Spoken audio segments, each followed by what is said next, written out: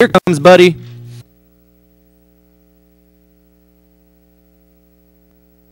They're off as we're back to action here in race four. We have six here in four, and it's five out in front early on. Five, PJ Jabberwocky. You have one on the inside. That is, and one with the lead now. PJ Outlaw, like me, now your leader into the second bin, and now into the backstretch.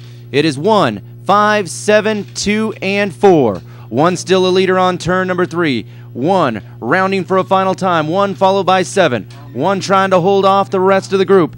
And seven making a charge on the outside. One wins PJ Outlaw like me.